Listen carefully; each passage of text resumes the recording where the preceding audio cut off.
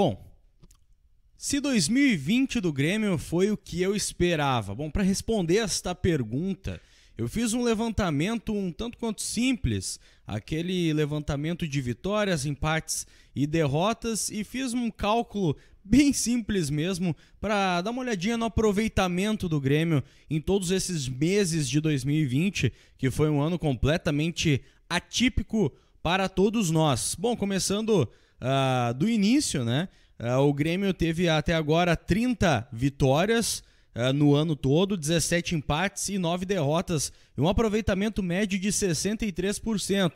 Falando do melhor mês que o Grêmio teve, foi novembro, onde o Grêmio teve 8 vitórias, um empate e nenhuma derrota, passou dos 90% de aproveitamento. E, e o pior mês do Grêmio, pior mês de todos deste ano, foi em julho, na volta desta parada dos jogos, onde o Grêmio só conquistou uma vitória e teve 33% de aproveitamento. Falando em números, é inegável que o Grêmio foi bem, oscilou bastante, é, teve alguns meses que não foram tão interessantes, mas no geral o Grêmio foi bem.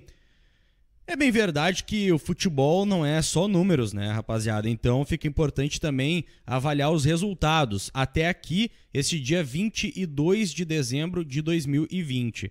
O Campeonato Gaúcho acabou com o Grêmio como campeão, é, com algumas dificuldades na fase final, é bem verdade, mas o Grêmio se sagrou campeão desse Campeonato Gaúcho, um pouco diferente também, porque teve a parada dos jogos em meio a ele. Na Copa Libertadores, fomos bem na primeira fase, tivemos uh, um confronto das oitavas de final aí quando, quando conseguimos passar uh, pelo, pelo Guarani do Paraguai. Mas nas quartas de final encaramos um Santos um pouco mais organizado, é, que conseguiu é, parar o Grêmio, travar o Grêmio nas suas principais qualidades.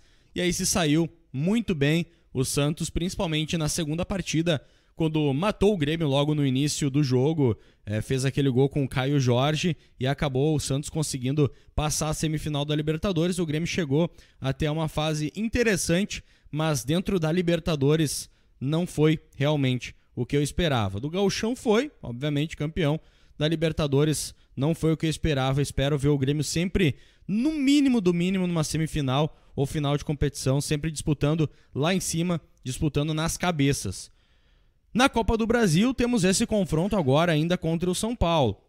Passamos nas oitavas e nas quartas de final por Juventude Cuiabá, duas equipes uh, que não exigiram tanto assim do Grêmio.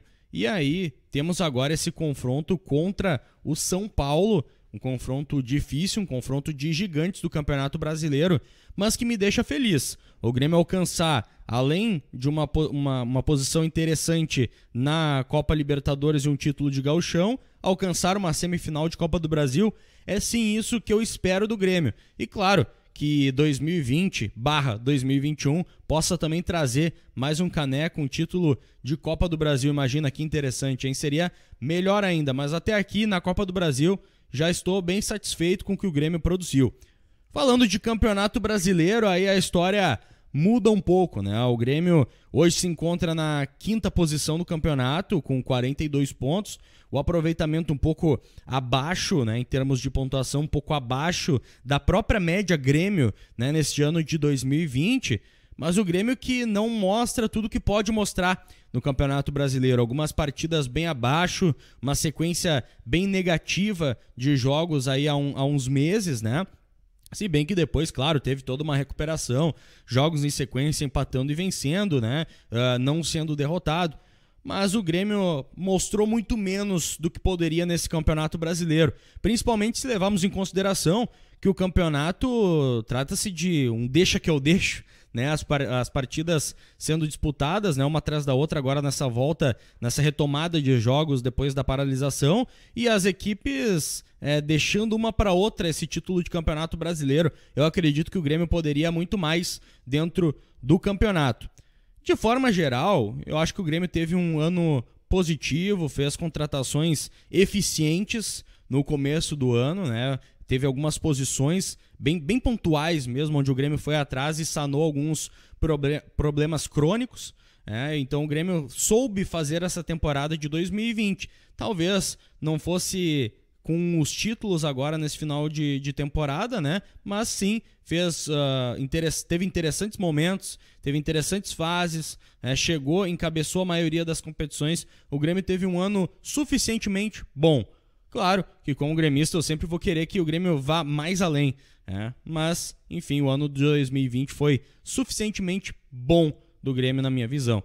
Falando um pouco do nosso trabalho aqui também, foi um grande ano dentro, dentro da rádio, né? Ainda não acabou a temporada, mas foi um grande ano dentro da rádio. Eu mesmo não me imaginava uh, estar aqui fazendo trabalho da maneira como estou, mas estou aqui, né? Enfim, e a, e a galera toda unida fazendo um trabalho bem interessante. Uh, que 2021 possa ser ainda melhor na vida do Grêmio, uh, aí com mais títulos de expressão, talvez uma Copa do Brasil, talvez um Campeonato Brasileiro de novo, né? Que há tanto tempo não conquistamos.